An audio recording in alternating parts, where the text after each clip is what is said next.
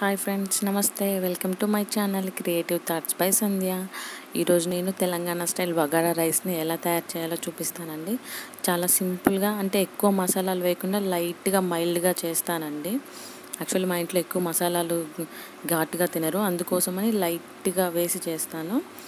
ఇందుకోసం నేను హోల్ గరం మసాలా తీసుకున్నానండి. ఎస్పెషల్లీ రెండు ఎక్కువ తీసుకున్నాను. ఒకటి బగారా ఆకు ఇంకొకటి బగారా పూత అని దొరుకుతుందండి. బగారా పూత రెండు తీసుకున్నాను. మిగతా మసాలా అందరికీ తెలిసిందే. ఇప్పుడు ఒక గిన్నె పెట్టుకొని ఆ గిన్నెలో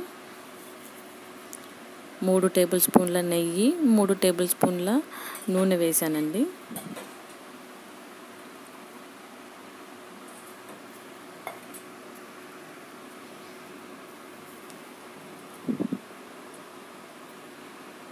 ఆ నూనె కొంచెం వేడెక్కిన తర్వాత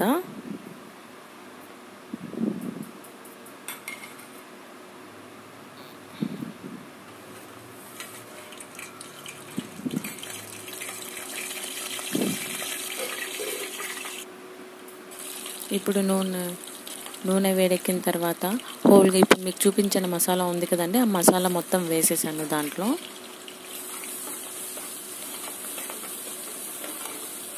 అది వేసిన తర్వాత అది కొంచెం లైట్గా వేగిన తర్వాత పచ్చిమిరపకాయలు అల్లం వెల్లుల్లి పేస్ట్. అల్లం వెల్లుల్లి పేస్ట్ ఫ్రెష్గా అప్పుడే రుబ్బుకోండి. అల్లం వెల్లుల్లి పేస్ట్ కొంచెం వేగిన తర్వాత కొత్తిమీర పుదీనా కరివేపాకు వేసి వేయించుకోవాలి. అవి మన బాగా వేగాలండి. కొంచెం కూడా పచ్చివాసన రాకుండా బాగా వేగాలి.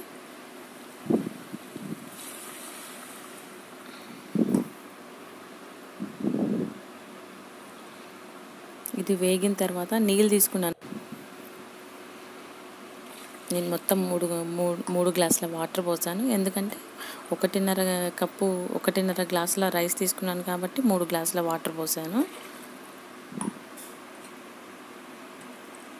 ఇప్పుడు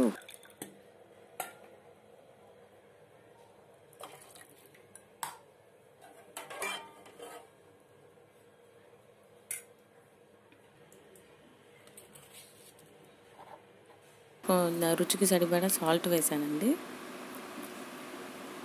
ఈ సాల్ట్ వేసిన తర్వాత నేను మూత పెట్టి మరగపెట్టుకున్నాను అవి మరిగిన తర్వాత ముందే అరగంట సేపు నానబెట్టుకున్న బియ్యాన్ని వేసి ఒకసారి వేసి కలపాలండి మొత్తము.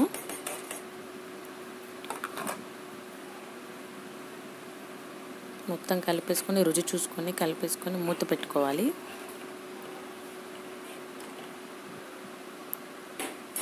ఒక టెన్ మినిట్